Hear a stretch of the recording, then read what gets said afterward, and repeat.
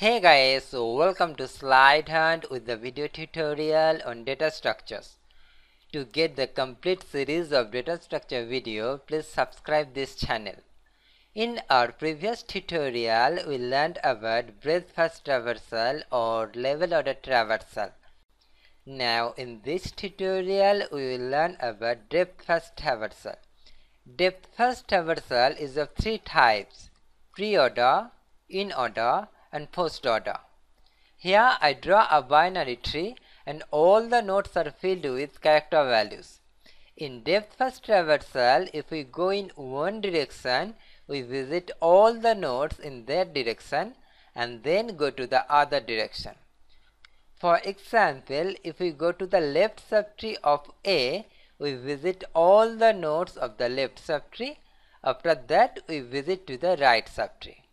Visiting means reading the values of the nodes. Traversing a binary tree means visiting the root, visiting the left subtree and visiting the right subtree. But order is different for different traversal.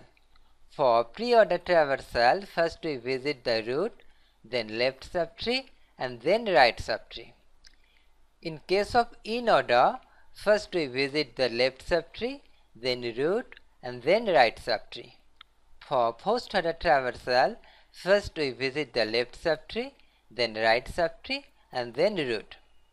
You can see here left subtree is always traversed before the right subtree. The difference among the algorithm is the time at which the root is processed. In pre-order algorithm, root is processed before the left and right subtree in in-order algorithm, root is processed in between left and right subtree and in post-order algorithm, root is processed after the subtrees are traversed. Next, we learn how to traverse a binary tree using pre-order, in-order and post-order traversal. First, we learn pre-order traversal. In pre-order, first we visit the root, then traverse the left subtree in pre-order, and then traverse a right subtree in pre-order. Consider this is a binary tree. Now we traverse it using pre-order traversal. To traverse a tree in pre-order, we need to apply these three steps in each node. So let's start it. First visit the root node. Root node of this tree is A. Node A is visited. Next step is traverse the left subtree in pre-order left subtree of A is this. Now we apply these three steps on this part. First one is visit the root. Root of this subtree is B. So visit or process it. B is processed. Then traverse the left subtree in pre-order. Left subtree of B is D. Now process it using pre-order algorithm. It's just a function call we call here the pre-order function and we go here. Visit the root. Root of this subtree is d. So d is visited. Now traverse the left subtree in pre-order. D has no left subtree then traverse the right subtree in pre-order. D has no right subtree also. So go back to b. Left subtree of b is traversed. Now apply this step. Traverse right subtree in pre-order right subtree of B is this one. Now apply these three steps on this part. First visit the root. The root of this subtree is E. E is visited. Then traverse the left subtree in pre-order. Left subtree of E is G. Now apply these three steps on G. Visit the root. Root of this subtree is G. So G is visited. G has no left and right subtree. So left subtree of A is traversed. Now we traverse the right subtree of A. Right subtree of A is this one. Visit the root. Root of this subtree is C. C is visited. Now traverse the left subtree in pre-order. C has no left subtree. So go to the next step. Traverse right subtree in pre-order. Right subtree of C is this one. Now apply these three steps on this part. Visit the root. Root of this subtree is f. f is visited. Traverse the left subtree in pre-order. left subtree of f is h. Now we traverse it using pre-order algorithm. The first step of pre-order algorithm is visit the root. Root of this subtree is h, so h is visited and it has no left and right subtree, so go back to f. Left subtree of f is traversed. Now we traverse the right subtree of f. This is the right subtree of f and i is visited. So this is the sequence after traversing this tree in pre-order.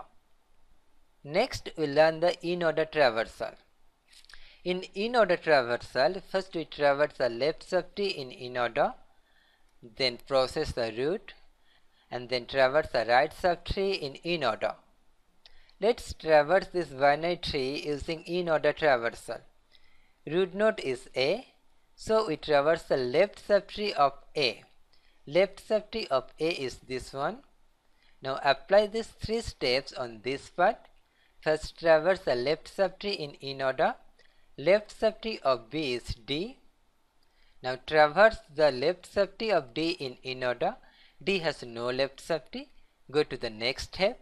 Process the root. D is processed. Then go to the next step. Traverse the right subtree in in order. D has no right subtree. So go back to B. Left subtree of B is processed. Now process the root. B is traversed. Go to the next step. Traverse the right subtree in in order. Right subtree of B is this part. Now apply this three step on this part. Traverse the left subtree in in order. Left subtree of E is G. Traverse the left subtree of G. G has no left subtree. Next step is process the root. G is traversed. Then go to the next step. Traverse the right subtree in in order. G has no right subtree. So go back to A. Left subtree of G is traversed. Now we traverse the root node that is A. You can see here left subtree of A is processed. The next step is process the root. A is processed. Now we traverse the right subtree of A in in order. The root of this subtree is C. Traverse the left subtree of C. C has no left subtree. Then process the root. C is processed. Then traverse the right subtree in in order. This is the right subtree of C. Here we apply these three steps. Traverse the left subtree in in order. Left subtree of F is H. H has no left subtree and no right subtree so we process it then we process the root that is F then we process the right subtree that is I so this is the order after traversing this tree in in order next we learn the post order traversal in post order first we traverse the left subtree in post order then traverse the right subtree in post order and then process the root. The root of this tree is A. So we traverse the left subtree of A. This is the left subtree of A. The root of this subtree is B. So we traverse the left subtree of B. Left subtree of B is D and D has no left and right subtree. So we process it. Now D is processed. The left subtree of B is processed Next step is process the right subtree in post order. Right subtree of B is this one. Now apply these three steps on this part. First step is traverse the left subtree in post order. The left subtree of E is G. Now apply these three steps on G. Traverse the left subtree in post order. G has no left subtree. Go to the next step. Traverse the right subtree in post order. It has no right subtree also. Go to the next step, process the root. So we processed here G. Now go back to E. Left subtree of E is processed.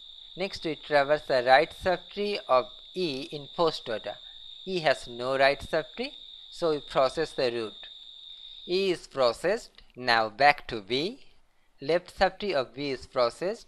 Right subtree of B is also processed. Now we process the root. B is processed. Now you can see here left subtree of A is processed.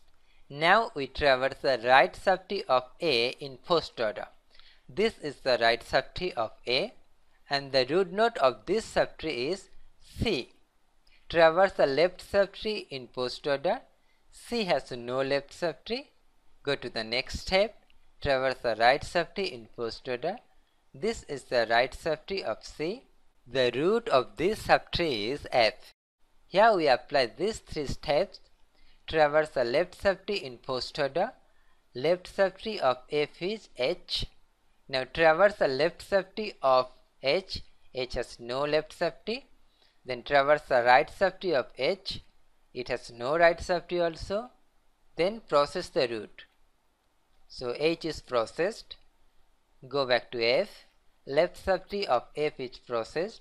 Now process the right subtree of F right subtree of f is i and i has no left and right subtree so process it. I is processed. Left and right subtree of f is processed. Now process the root. Then process c. You can see here both left and right subtree of a is processed. Now we process the root node that is a. So this is the sequence after traversing this tree in post-order traversal.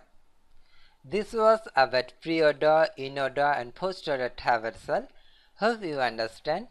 Next tutorial we learn how to write code for pre-order, in-order and post-order traversal.